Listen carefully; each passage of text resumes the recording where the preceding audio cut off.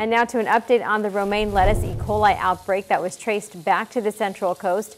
U.S. health officials declared an end to the food poisoning outbreak today. It's been going on since October. 62 people got sick, 25 of them were hospitalized.